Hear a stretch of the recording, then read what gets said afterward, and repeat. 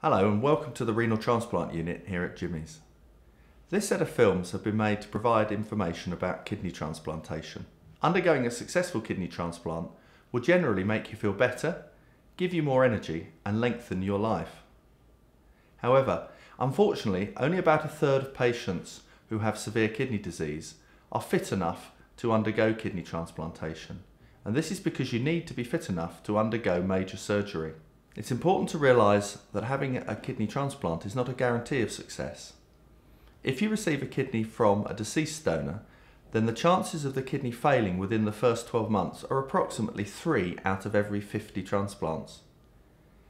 If you receive a transplant from a living donor, the chances of success are higher, with only 2 out of every 50 transplants failing within the first 12 months. After 5 years, kidneys from a deceased donor will fail in approximately 3 out of every 20 cases, whereas kidneys from a living donor will fail in only 2 out of every 20 cases. After undergoing a successful renal transplant, you will need to take anti-rejection drugs to prevent rejection of a transplanted kidney.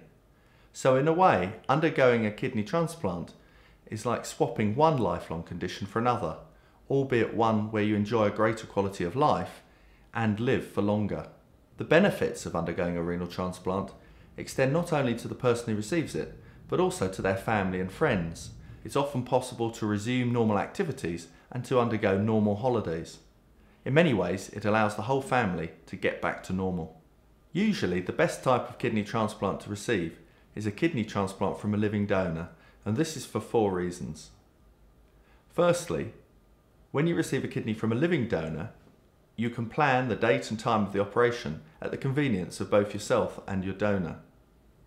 In contrast, receiving a kidney from a deceased donor usually occurs as an emergency operation in the middle of the night. Secondly, if you receive a kidney from a living donor, you won't have to wait. If you receive a kidney from a deceased donor, you will have to wait on the UK transplant waiting list, and the average waiting time is now approaching three years. Thirdly, when you receive a kidney from a living donor, that person will generally have undergone an extensive medical workup. This means that on average, living donors are fitter and younger than deceased donors who often have significant vascular disease such as a stroke. This means that the quality of kidneys from living donors is generally better than that from deceased donors. Finally, when the operation occurs, the kidney remains outside of the body for less time in the living donor situation, generally between two and four hours.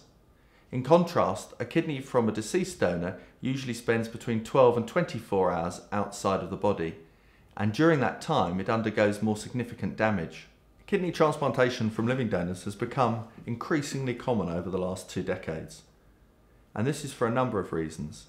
Firstly, the donor operation has become a lot simpler, and secondly, we are able to do transplants that were not previously possible. And perhaps the best example of this is transplants between pairs who are blood group incompatible. This set of films have been made as an introduction to the kidney transplantation process, and it's likely that there will be a number of questions that remain as you watch them. We have a number of specialist nurses and doctors who will be more than happy to answer your queries when you come to clinic. Please feel free to write down your questions whilst you're watching these films and address them when you next come to see us. I hope you enjoy the films.